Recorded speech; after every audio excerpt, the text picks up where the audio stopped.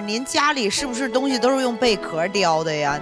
正正相反，我们家里摆设很少，但是我们艺术馆里全部都摆的是那个。哦，回头可以给那个陈薇那个马桶盖雕一个贝壳的，我觉得掀开马桶盖。真有啊！真有现在七星级宾馆的马桶盖，还有卫生间的马赛克，全部是贝壳的。是天啊，那大孔雀多好看啊！另外一个，我们通过这个产业升级呢，我们做了高档的东西，比如说像这类似这这种东西，我能我能可以拿起来给我们的企业家们展示一下吗？可以嚯，哦，哇，谢谢这个如意是怎么做的呀？这个如意就用鲍鱼壳，而且上面镶了黄金，镶了宝石，啊，镶了黄金。啊，有黄金。哦，我我我看见了，嗯好漂亮 啊！现在镶了宝石，镶了黄金，再经过雕刻，就变成我们把它升级为珍贝艺术系列品。好漂亮啊！这哇，我太想看看了，太美了。像这种呢，我们作为收藏品呢，卖两万块钱一个，哇，而且我们做了十个，在深圳文博会上全部卖完了。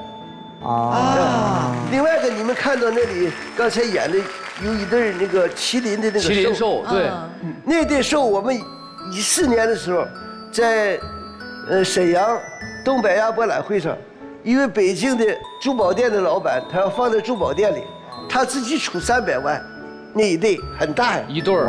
哎，那您没我我没没卖给他。来，我们让陈薇近距离的哇，因为我拿住了啊，拿住了啊。我自己还是很喜欢翡翠的啊，其实从那个远处看，看起来就真的像琉璃翡翠那种感觉，对，好漂亮啊！而且还有一个龙的图腾，马瑞有没有特别喜欢？因为我和马瑞都是属龙的。哦哇，那这个金老师，您要不然太卖了售价两万哈，那你就是在我们节目，你咱就人情价八万就卖给他们了。哇，这个每一个颜色，这些全部都是纯天然，纯天然的，就是看起来会觉得很重，但是其实捧起来很轻嘛，因为，但是很有质感。对质感超级好，太美了。那是怎么链接到一起的？是拿胶吗？还是这个底胎呢是红木的，哦这个底胎做好了以后要放五年以后再可以往上加贝壳。啊，放五年，哎，因为什么？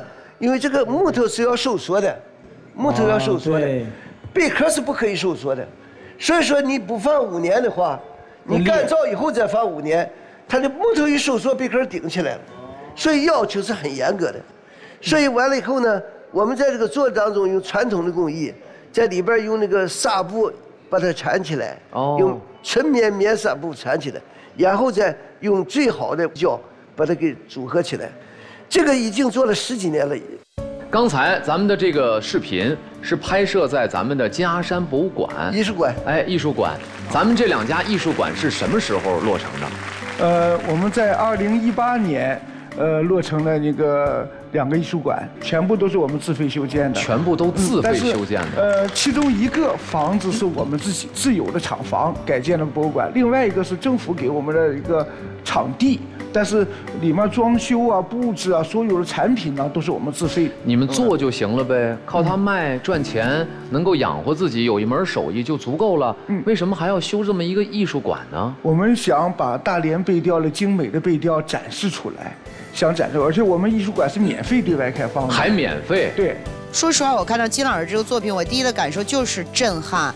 然后我特别希望，第一，我也会帮您去推荐一下，因为我们有一个现在非遗的这样的协会在做推动这件事情。第二件事情就是我本人也特别愿意啊，在向我们的粉丝和受众，至少在我范围内影响的所有的女性去推广您这件事情。我真的觉得太美了。我相信每一个看到金老师作品的人都会用“震撼”两个字来形容。对，我们一定要组团去。